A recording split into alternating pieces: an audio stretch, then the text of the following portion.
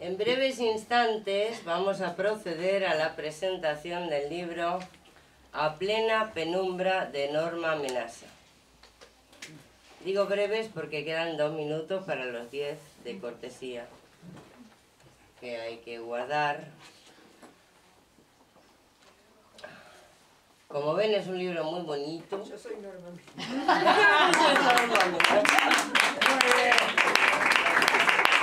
¡Existe! ¡Norma existe! Ahí lo- Usted no tiene. Tome, yo tengo dos. Ahí ya me está hundiendo el negocio editorial usted. Lo he pagado, ¿eh? Me Ah, lo pago. Vale. Tengo testigos. Vale, le perdono. Puede regalárselos a quien quiera. No, la vengo a estudiar a tarde, después voy. Muchas gracias. Es un honor enorme. Bueno, vamos a presentar el libro A plena penumbra de Norma Menasa. Yo soy Carmen Salamanca, gerente de la editorial. Después vendrá Pilar Rojas, que es la otra presentadora. Y La después... doctora Pilar Rojas, psicoanalista, encargada del curso de medicina psicosomática y con tres o cuatro especialidades médicas. La doctora Pilar Rojas, psicoanalista encargada del curso de medicina psicoanalítica y con tres o cuatro especialidades médicas Y aprendí de poeta. y aprendí de poeta que dice ella que le pueden hacer muy bien a todos cualquiera de las cosas que ella hace. Bá- bárbaro. Bueno, entonces. Menasa, usted siempre está bien. Gracias. Bueno. No, no, siempre, siempre, siempre, siempre. Sí, sí. Bueno, vamos al meollo del asunto. Aquí. A ver, adelante. A plena penumbra, que no se sepa quién es el amor, que nunca se sepa. Estos versos pertenecen a la introducción del libro Salto Mortal, la primera publicación de Miguel Óscar Menasa en España en 1977. A plena penumbra es el primer libro de Norma Menasa desde que se trasladó a Madrid para vivir. Podríamos deducir que de alguna manera este libro habla también de un salto espacio-temporal para la autora. No es casualidad que el cuadro de portada se titule La máquina del tiempo. Norma Menasa tiene una larga trayectoria poética. Además de haber publicado seis libros de poesía, más dos en colaboración con otros autores, ha coordinado talleres de escritura en Buenos Aires durante muchos años, estableciendo de esta manera su formación poética más allá de los límites de la individualidad, como enseña el Grupo Cero. No es fácil describir su estilo, aunque los adjetivos selvático, profuso, ramificado o fértil nos pueden dar una idea de cómo se muestra esta poeta. Frases que duran toda una estrofa, donde lo que comienza se extiende en el tiempo y el espacio, en una concatenación casi milagrosa de imágenes que nos transporta a lugares nunca imaginados, a sentimientos que ni siquiera sabíamos que poseíamos. Todo ello con una mirada que se extiende más allá de cualquier percepción sensible y que abarca el universo en su conjunto. Respecto a los temas, su poesía habla de todo, o mejor dicho, utiliza cualquier pretexto para escribir. Norma humaniza las cosas, da igual que sea una planta, un recuerdo o una casa. Había una especie de acorde musical que resonaba en el alma de aquella casa que había dejado de ser joven. Y en cada uno de sus poemas siempre hay una historia. Podríamos aventurar que, como ocurre en los sueños, ella, la poeta, es todos los personajes de sus poemas. A veces nos los presenta en primera persona, otras como espectadora que narra una realidad que irá construyendo verso a verso. Incluso en estos casos aunque la mirada sea exterior al sujeto en cuestión, poco a poco se va introduciendo en el personaje, va absorbiendo sus inquietudes, sentimientos, nos va transmitiendo su ser. Siempre acaba transformada en lo observado que se observa a sí mismo a través de los otros.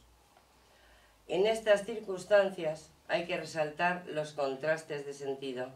Por ejemplo, en los primeros versos del libro nos dice No soy muy diferente de esas otras mujeres que juntan en la playa caracoles y amontonan sin saberlo vidas que han pasado. No es muy diferente, salvo porque lo escribe. Y esa mínima diferencia es un abismo que marca la gran diferencia. El último poema se titula La poesía me llama pero hoy no iré. Y ahí encontramos una especie de solución al acertijo inicial. La que no existió nunca comienza su danza a mi alrededor. Podríamos concluir entonces que todo el libro transcurre entre la diferencia y la inexistencia, condiciones ambas indispensables para el ejercicio de la poesía. A lo largo de sus tres secciones hay temas o palabras recurrentes. Uno de ellos es los pájaros. Debemos recordar el título de uno de sus libros. Cuando está por llover, los pájaros no vuelan.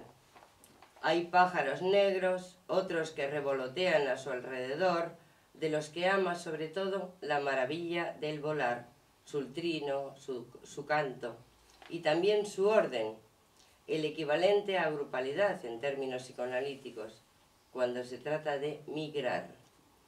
Este es otro ejemplo de humanización, puesto que ella escribe emigrar, y eso lo hacen los, los hombres, los humanos. Los pájaros van y vuelven, es decir, migran.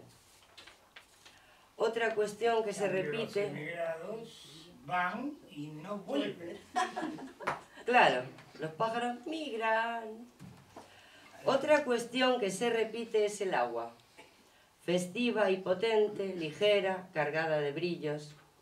Llega a decir que se siente más viva que el olor del agua en el reverso de la oleada. Agua en todas sus modalidades, desde el mar hasta la lluvia, esa que tanto abunda en Buenos Aires y que insiste en forma de gotas sobre el terciopelo, con un genio escondido que moja los cabellos y alimenta semillas, una lluvia tibia en las constelaciones de un poema. Esa lluvia es casi como una madre que cubre y envuelve la soledad, protegiendo de la intemperie. ¿Y cómo no hablar de la memoria? Hay un empeño en separar la máscara del rostro auténtico, que late bajo el peso de convenciones sociales un empecinamiento en discernir qué fue verdad y cómo se transformó en el camino hacia la actualidad, porque la realidad no deja de ser una construcción y lo único que permanece es el camino recorrido, los peldaños hechos escritura. Una perfecta disección del paso del tiempo. Ya ves, todo fue mentira, nos dice un manto de silencios ocultando otro manto de silencio. Y la más hermosa definición de memoria la encontramos también en este libro, en una estrofa donde se mezclan varios de sus significantes favoritos. Una existencia aún no acontecida y el último tañido dirá, esta es la hora donde el tiempo no suena ni murmura y la memoria es un estado de belleza lisa como la arena de una playa. Un pájaro no canta porque tenga una respuesta, canta porque tiene una canción, reza un antiguo proverbio chino. Pues bien, ahora, después de Pilar Rojas, le toca a Norma Amenaza mostrarnos la belleza de su canto. Muchas felicidades.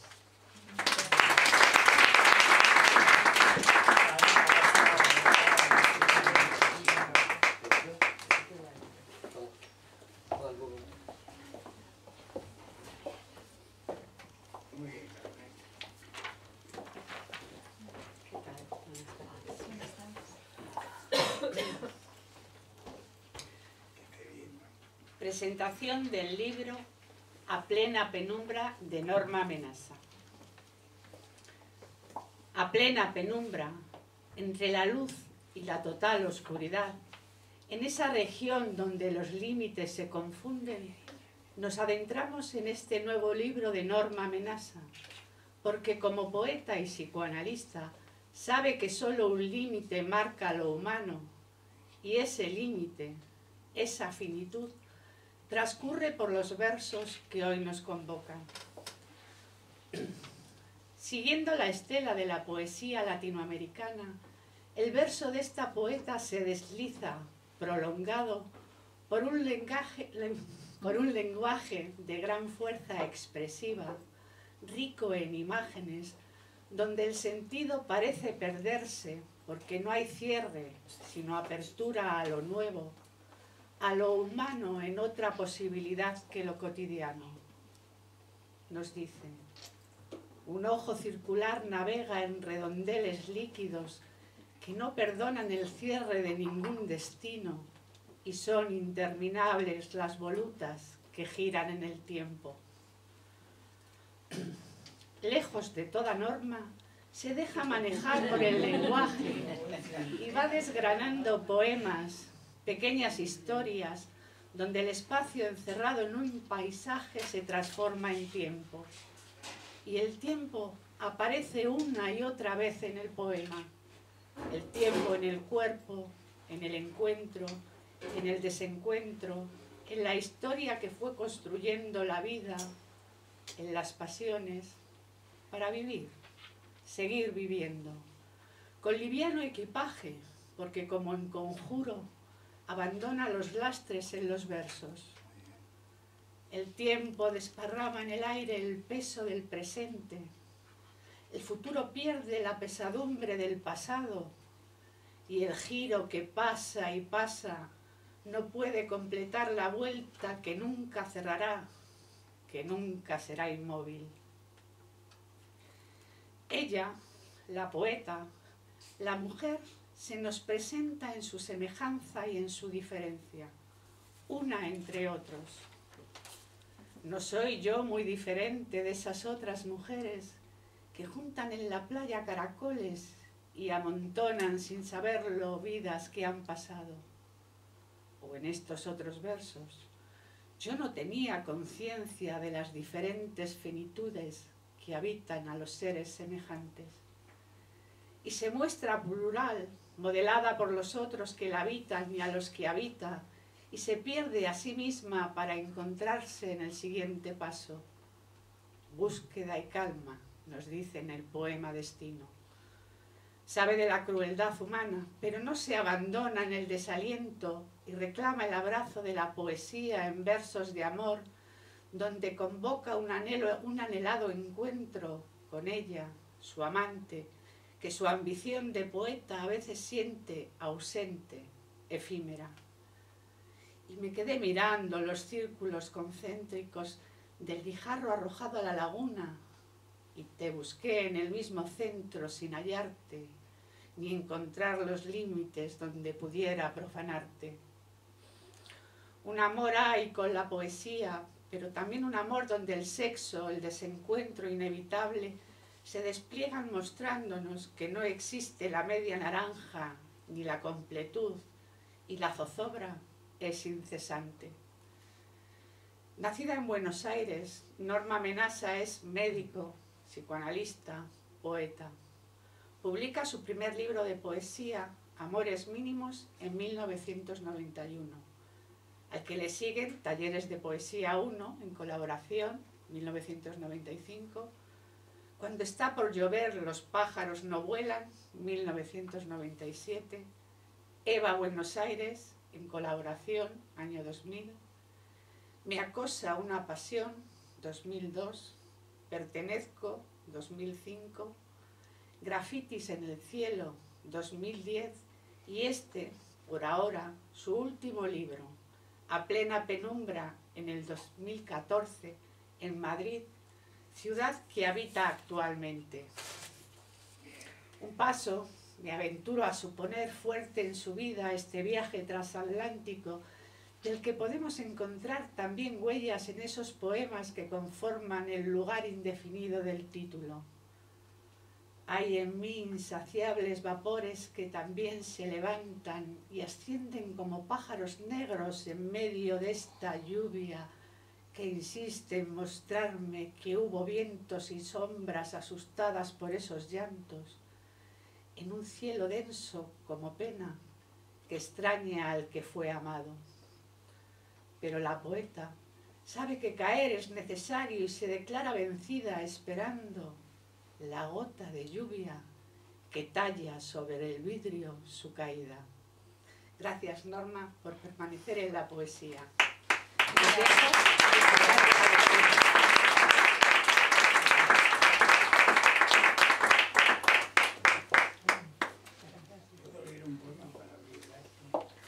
A ver, eh, por favor, Miguel, así.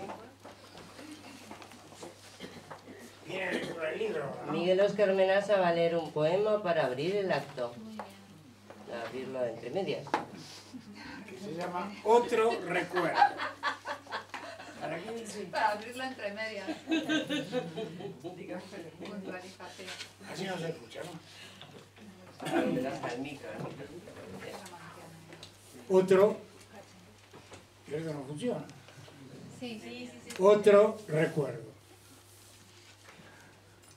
Con los ojos abiertos, sin saber, me quedaba mirando la rama engranada con la flor del manzano, que blanca como la nieve y tan juntas perfumaban el aire. Había un olor a incendios juveniles saliendo de tus labios.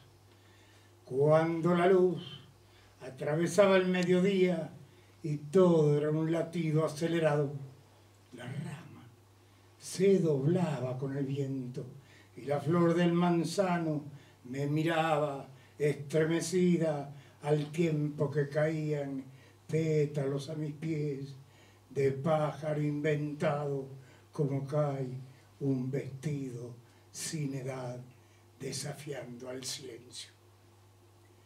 Dame tu fruto, dame.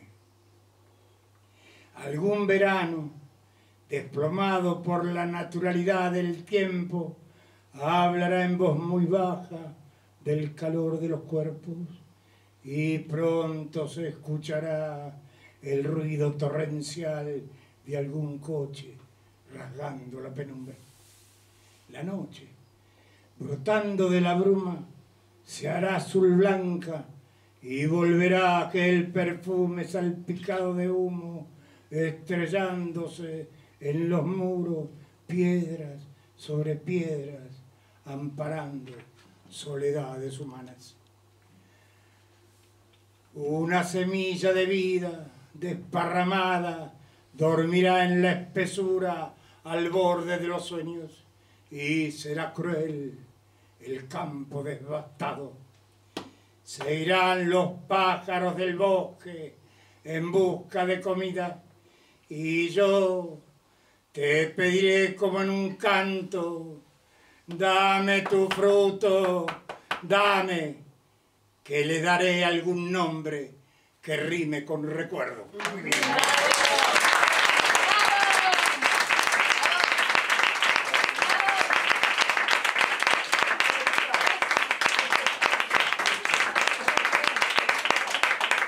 Yo se lo corregí, porque empecé por atrás leyendo, ¿no? Y dame tu fruto, dame, que le daré algún nombre que rime con... Me pareció tan brutal ese verso, que entonces que ella, como una joven poeta que lo repite en la mitad, dame tu fruto, dame, que le daré algún nombre que rime con recuerdo.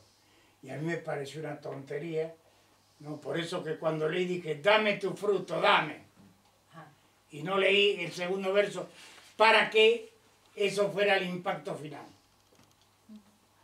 Perdón. Buenas tardes. ¡Una lección gratis! ¡Una super lección gratis! ¿Dónde están las cosas? Vale. La verdad que estoy apabullada. Me parece que ya mm, lo dijeron todo. Nada, no te vas a librarte, sí. No hay problema, mamita. Tú me has apabullado muchas veces en mi vida y yo seguí adelante. Bueno, vamos a ver.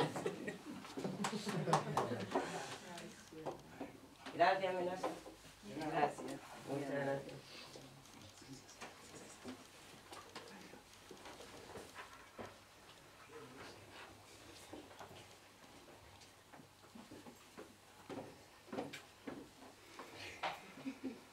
Bueno, la máquina del tiempo. Norma Menas. 15 euros. No, Bien, 10. bien, bien. 15 euros por un libro y medio. Pueden pagar 20 si llevan dos. Así le estropean la vida a algún compañero o algo. Habrá otra vez. Vuélvete. Repite una vez más aquello que nadie se pregunta. En el vuelo de los pájaros que migran tal vez está el secreto, la secreta escritura del regreso, aquella voluntad que no marca el cambio del destino.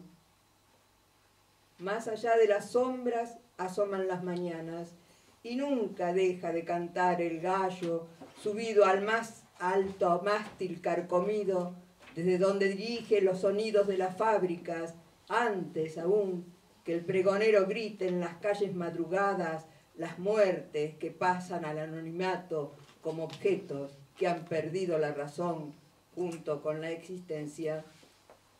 Como ángeles sin aureola volverán siempre al mismo crimen y habrá crucifixión con sangre bajo un cielo de violencia que vuelve todo un páramo inmutable y el mundo pierde el cuerpo que se transforma en sílabas desnudas. Y así, en ese mirar deshabitado, volveré otra vez más a repetirse alguna forma sin olvido, alguna ilusión desesperada, un futuro escandaloso bravando un abandono en la zona donde no sé bien qué es lo que digo, con la quietud de un centro que mueve la rueda de los días y el movimiento, con un zumbido de motores, arrojará, sin ser oída, una sentencia como epitafio eterno. Habrá otra vez, habrá otra vez.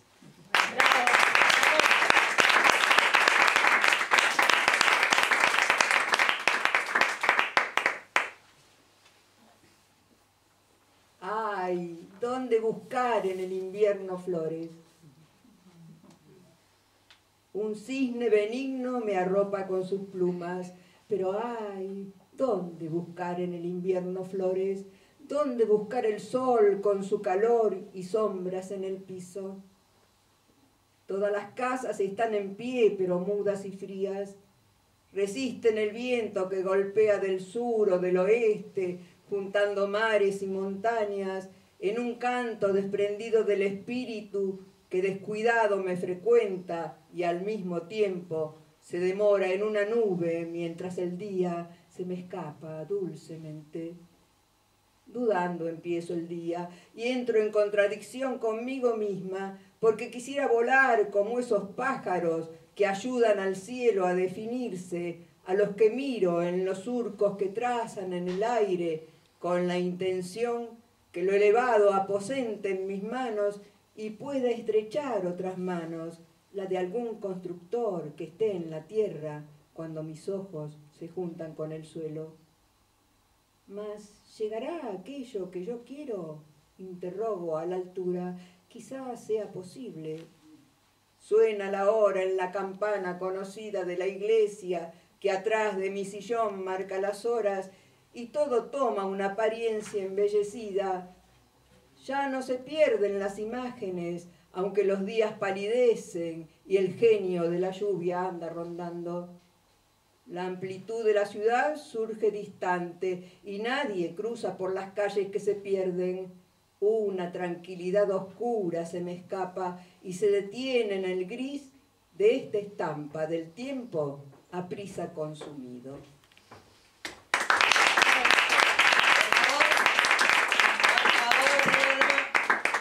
Por favor, puede decir la página de el poema tal de tal página. Ah, bueno. Eso. Los oyentes piden saber en qué página está el poema. Bueno, Se pierden entre las ramas. muy bien. Dios. ¿Qué sentirá la rosa? Página 19. ¿Qué sentirá la rosa al ser cortada? ¿Qué mundo le espera que no es el recorrido de su savia bondadosa, alimentada por las raíces de su cuerpo? ¿En qué memoria hará su nido cuando salga otra luz? ¿En qué repliegue del mar hallará esa ausencia? Porque no habrá historia que quede arraigada a la, a la ventana donde florecía y que apaciblemente engalanaba las tardes de domingo. No hay posibilidad de subrayar con ningún lápiz el renglón que quedó sin cobertura y no habrá milagro que transforme en un giro de viento el grito de la rosa desprendida cuando mi respira- respiración pasó tan cerca de su tallo que fue necesario repasar el cuerpo y los acuerdos con sus leyes de materia, plagadas de ácidos y encuentros helicoidales de entropías que no entendía la conciencia porque eran leyes extranjeras, debidas a un desarrollo desigual y combinado que perfumaba el pequeño jardín sin agonías ni presuntos dolores, donde brillaban de noche los bichitos de luz inalcanzables, distrayendo las lágrimas que dejaron de implorar misericordia hasta que el zumbar de una mosca o de una abeja volvía a recordarle a la tijera aquella prontitud tan necesaria para acabar de hacer justicia y entregar como ofrenda vulnerable aquel suspiro de su olor, aquellas gotas de la lluvia sobre su terciopelo, aquella razón nunca encontrada que se lavaba las manos frente al espejo alimentado de cansancio y humedecía de llantos mis cabellos, donde permaneció tan solo unos instantes hasta que los murmullos se apagaron y solo un sueño me habló del dulce juego de perderse.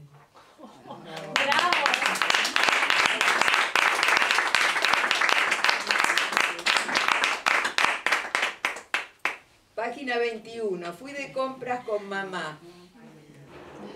Buenísimo este poema. Era un día de sol. Salimos a la puerta pintada de verde junto a la que ella le gustaba algunas veces retratarse. Llevaba el vestido de florcitas multicolores que tanto me gustaba y el amplio de la falda volaba despacito con el viento.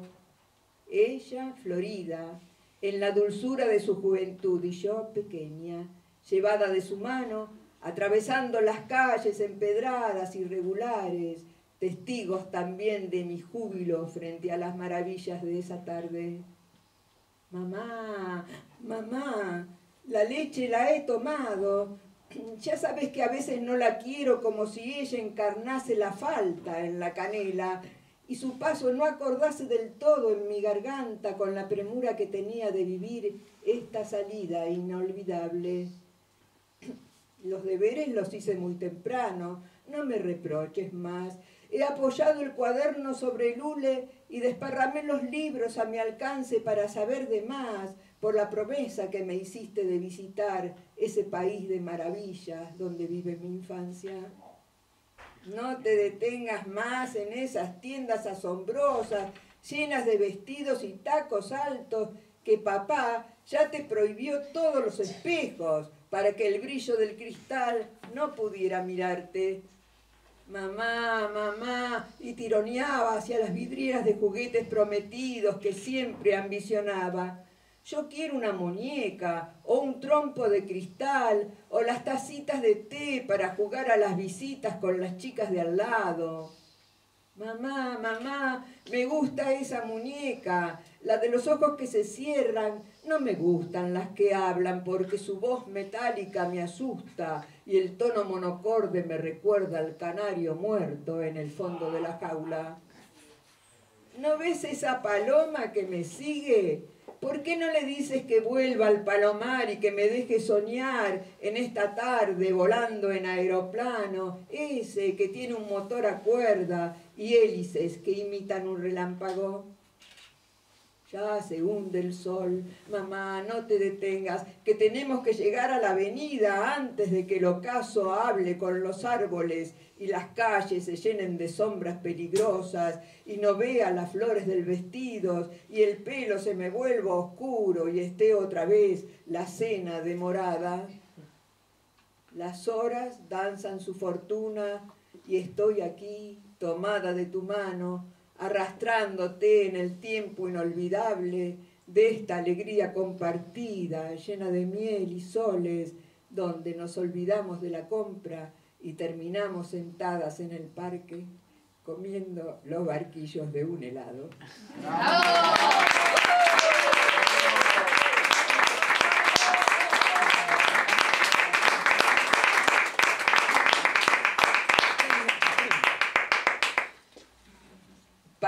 33.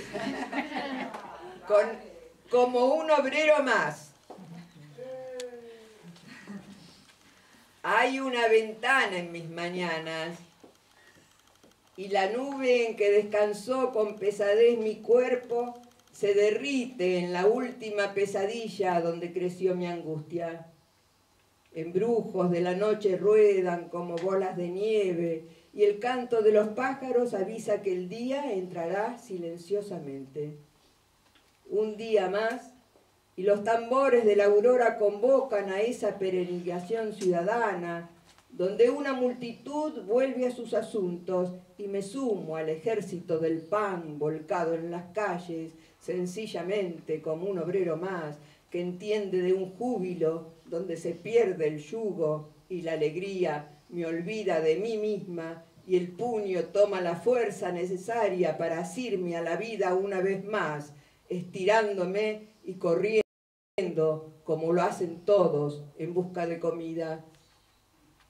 La calle, la calle se desespera en alaridos y veo al limpia vidrios montado en una silla suspendido en el espacio, temerario del vértigo, dichoso en su acrobacia y me convenzo de que me tocó la suerte de un trabajo sencillo.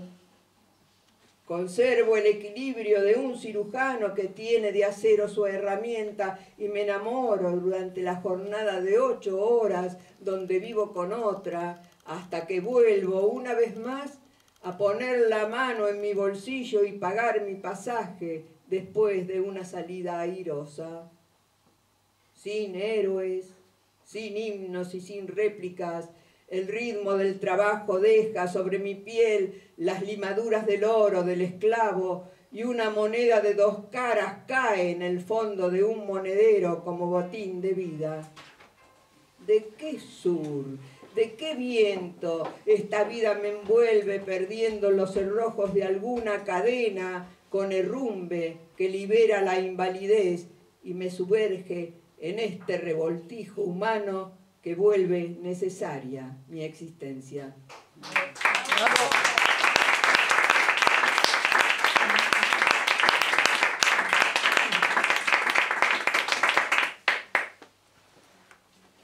Estos parques. Página 43. Estos parques siempre un parque cercano.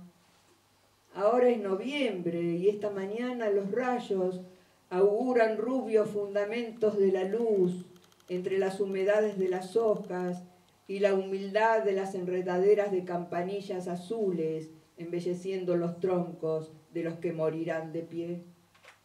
Ahora es noviembre y ha florecido todo lo que tiene que florecer Primero el rosa del lapacho, luego el, el violete inviolento de los jacarandáes, las pitas amarillas que alfombran los senderos, el palo borracho que ahora se llenó de hojitas después de dar esas orquídeas silvestres, fuertes, llenando sus copas, acompañando al ceibo, que tiñe de rojo mi cabeza que muevo tercamente para abarcar ese arco iris, ese arco desanudado.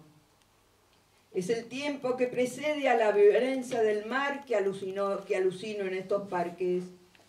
Ahora es noviembre y avanza una muchacha de cabellos húmedos y labios entreabiertos entre un leve murmullo que no cede y distrae el saludo y la plegaria de esos buenos días. Danzan alrededor de la fuente las mágicas sirenas que inmovilizan sus caderas porque no es el tiempo de la pleamar y estas son otras aguas, pero también salpicadas de brillos que surgen de los chorros saliendo de sus bocas con la furia del que sabe del vértigo de la caída. Y faltan las gaviotas. ¿A dónde llegarán mis huellas? Más allá de estos parques que a veces no diviso, un poco por la bruma o por el humo que los ennegrece, o que se me hacen invisibles por chillidos y silbos que vuelan y planean hasta estallar en un batir de alas que suben y bajan, pronunciando palabras en voz baja que insisten en mis sueños. Arriba, abajo, muy cerca, muy lejos, noviembre y estos parques esperando las lejanas lluvias, esa intimidad del cielo con mi batiente corazón, hoy, esta mañana en que mis ojos se me lloran solos.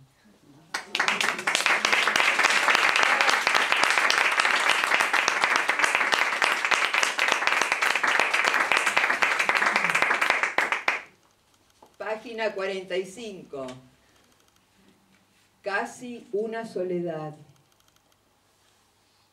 No hay vida saciada de sí misma. Yo entré husmeando el aire con los ojos ciegos y un grito en la garganta.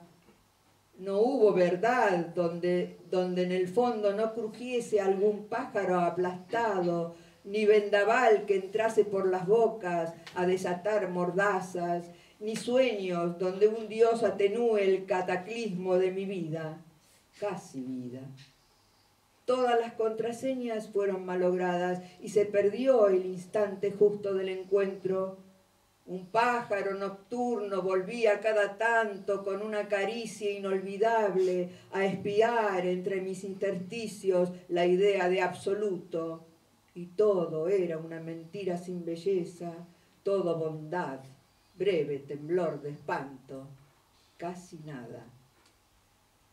Pensativa quedé sentada en una mesa donde panes y peces no sobraban, y la sangre corría por toneles allá, más lejos, donde el alboroto no llegaba a conspirar matanzas, donde el perdón, sentado en el patíbulo, distribuía clavos y martillos, y la cruz, vuelta señal, volvía al árbol imposible, nunca una mesa o leño, solo una fatiga interminable que propuso volviesen a la tierra el miedo y la sanción, sin lluvias para la semilla, sin inquietud, solo una, una arena abandonada, casi muerte.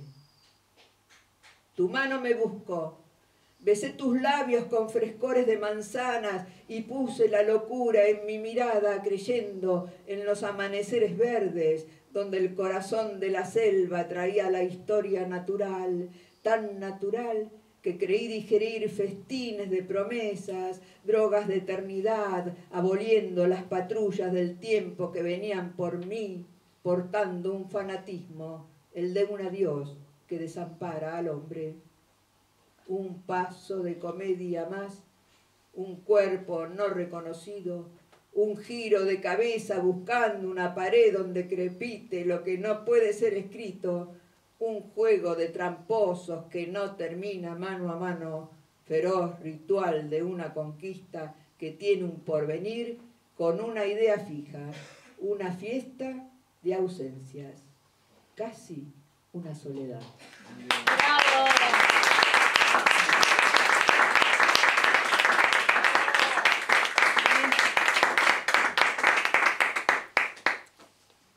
Página 51. Convenciones útiles. Todos los rincones estaban encantados. Había una especie de acorde musical que resonaba en el alma de aquella casa que había dejado de ser joven y solo era una imagen de intimidades perdidas en un canto de ternura. Tenía el desorden ordinario que tienen las cosas sensibles y una arquitectura casi animal de caracola abierta, donde se ordenaban los arcos de volutas, venenando tal vez el nacimiento de Afrodita. Llega también un tiempo en que los laberintos nos llaman al reposo y se deja de rodar sobre sí mismo, pero la piedra entrega su metamorfosis y transformada en casa despierta el ensueño de habitar en el seno de una curva. Pero se impone el ángulo, ese rincón del tedio donde vive la araña, mientras se enmohecen los minutos y un sentido secreto le permite a la espalda doblarse en un estornudo polvoriento. A veces hay ángulos de los que no se puede salir, ciertas consecuencias impensadas, algunos compromisos ventajosos, algunas convenciones útiles. La frase que dijiste ayer, tomando el peso donde se medita, los habitantes de la vida pidiendo al rey de las formas alguna incomprensión para volver a su rincón o acurrucarse en medio del insomnio dejando que el umbral se vuelva majestuoso como un testimonio de aquella decisión de atravesarlos juntos.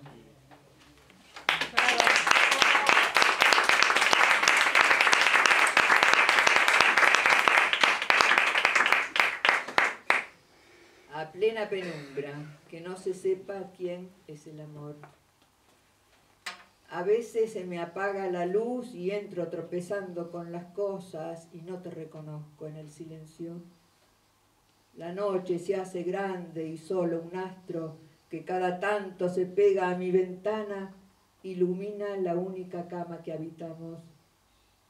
Nos habíamos mirado en el espejo carbonoso de las vejaciones y ocultado el ardor en la piel que empalidecía en el sepia de un descanso sin gestos.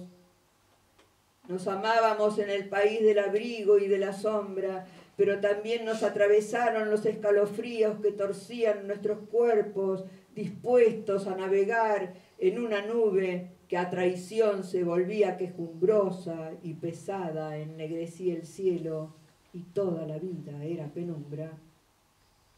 No habíamos proferido en voz alta nuestros nombres y sin embargo se incrustaban en las paredes las letras como trozos de jade. El amor era una carta escrita desde un país lejano, luminoso, una torre incendiada que iluminaba de azul en raras ocasiones el ángulo en que se abrían en dos nuestros caminos por los que avanzábamos cada cual a su modo, escuchando crepitar bajo los pies las hojas de innumerables nervaduras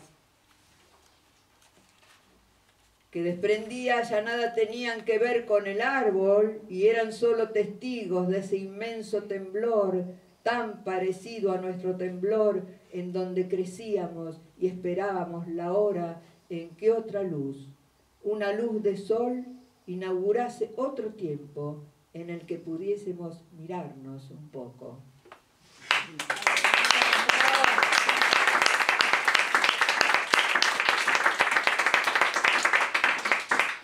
amor, no estás.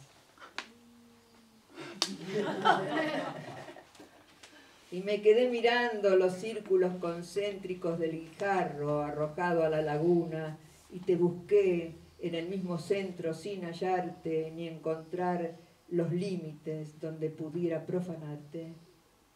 La noche se ahuecó para escribir palabras imposibles, sin caídas, en el final de este viaje con gusto de despedida. Cierro los ojos mientras te alucino, persiguiendo los ruidos de mis pasos donde cruje nuestra historia, en esas aceras pisoteadas que recuerdan la invulnerabilidad de ciertas almas frente a temores de vivir a punto de estallar en una casa abandonada. Ay, qué distancia enorme se interpone, y no escucho mi nombre en tu llamada, y no sé cómo romper la hoja de papel que sabe a profecías y a sueños desconocidos, donde se rompen todos los perfiles, y avanzo hacia el vacío blanco donde arde mi amor, y el cuerpo cae como un racimo de uvas en la violencia del verano.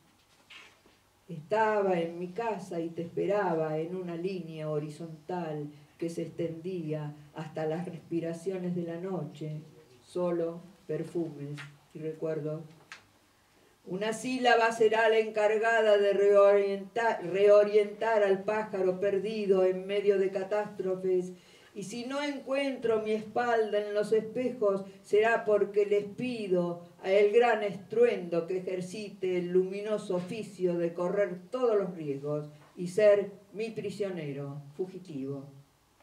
Yo también me detuve a un paso tuyo, mi imagen separada quedó junto a tus ojos y giré la cabeza hacia otro lado para ocultar una inocencia a punto de perderse dejando al descubierto a una niña desnuda que miraba la vida desde un curioso espectáculo de lágrimas y silencios.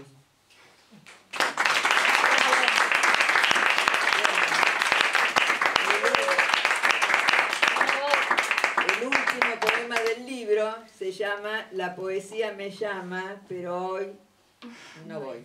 No iré.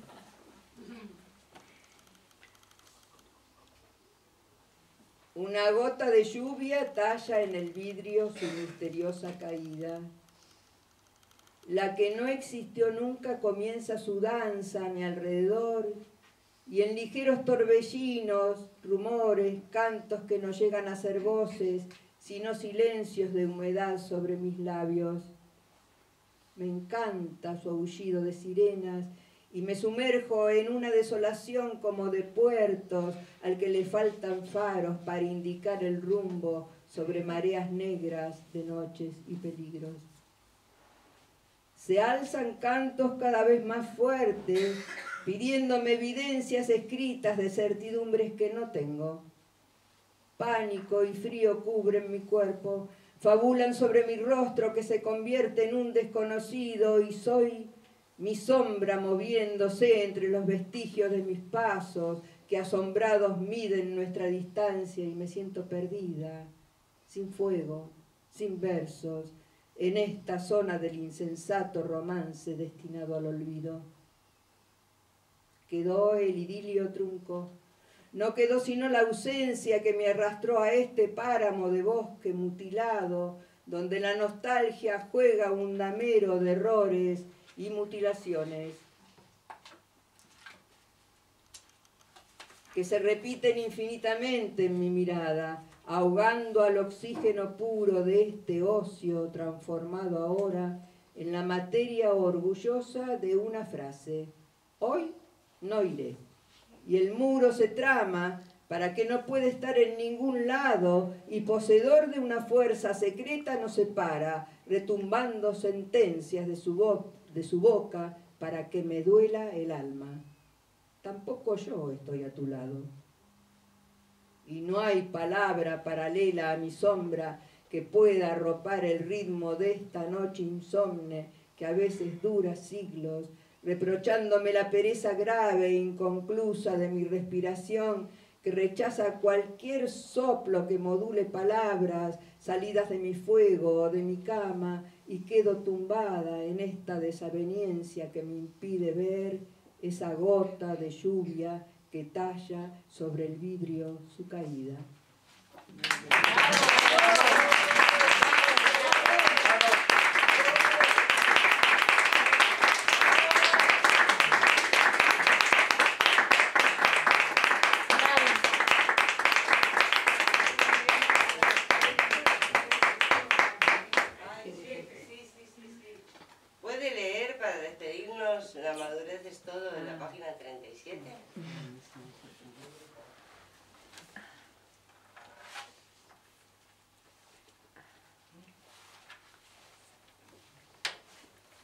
Madurez es todo. Toco mi cabeza y la perfección ósea me sorprende. Un hueso duro de pelar, me digo, y surgen vertientes de vida que vienen hacia mí, guardando el orden del vuelo de pájaros que migran. No he visto, solo entreví y acudí a quien me llamaba en medio de quimeras, donde los muros se aflojaban y no había sino formas abatidas que ingresaban en mi juventud y que solo llegaría a conocer en una lejanía de años. No hubo sombras que opacasen esa búsqueda entre otros que estaban allí y yo entre ellos, tratando de desnudarme en la fusión que hacía imposible mi reconocimiento. Y no bastó ninguna historia ni ningún solidario corazón para llegar al cielo. Me quedé en la tierra esperando una claridad redonda que traspasase mi cristal virginal y algo de la realidad llegase a mis sentidos y desajustase los tiempos verbales que me ceñían a una biografía que nunca terminaría de consumarse.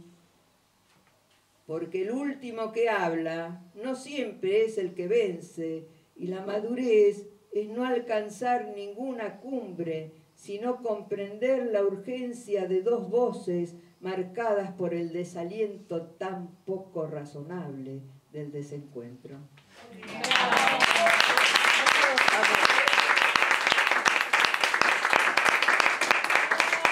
Bueno, muchas gracias.